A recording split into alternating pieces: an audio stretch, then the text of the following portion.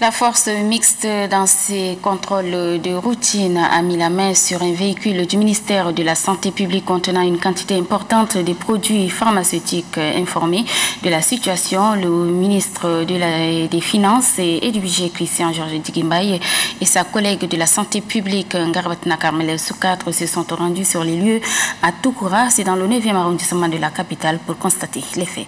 Idriss Idriss. À peine quelques mois après son opérationnalisation, la force mixte fait des prouesses.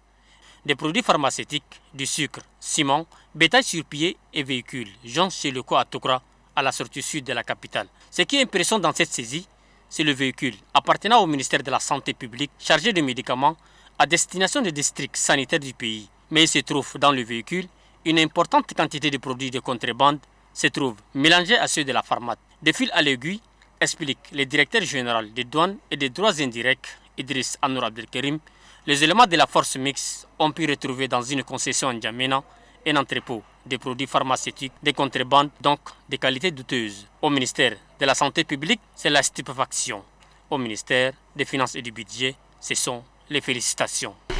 Vous vous rendrez compte qu'en quelques jours, ils ont fait des prises très importantes euh, je considère que celle-là est parmi la plus importante puisqu'elle touche à la santé des, humains et que nous devons honnêtement euh, nous-mêmes ne pas encourager ce genre d'activité.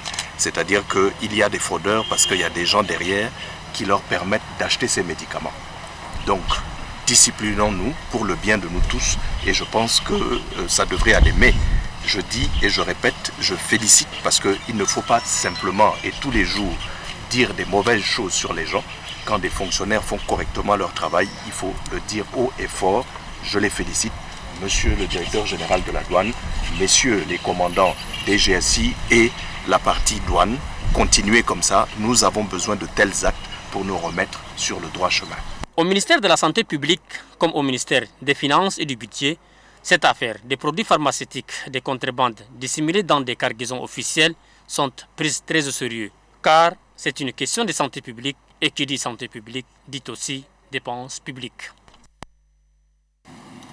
Surprise et choquée, la réaction de la ministre de la Santé publique a été on ne peut plus claire et l'appel ici la population à doubler de vigilance en dénonçant c'est hors la loi. Ngarabatna Carmel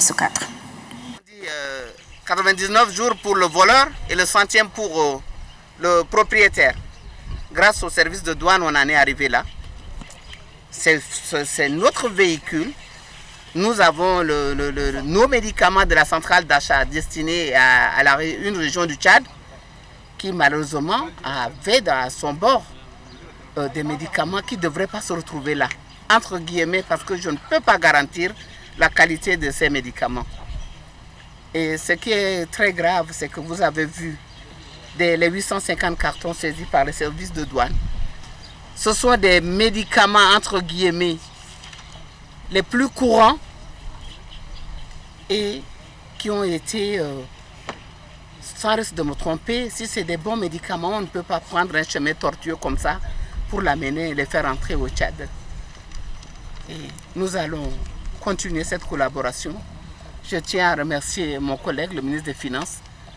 Euh, nous sommes persuadés que seule cette euh, collaboration, cette synergie d'action peut extraire les Tchadiens de ce, de, ce crime. Il n'y a pas un autre nom. Parce que vendu, on ne sait pas. Ils déclarent ni aux impôts, ils intoxiquent les gens et ils financent certainement le terrorisme aussi. Parce que ça a été démontré sous d'autres cieux, pourquoi pas au Tchad?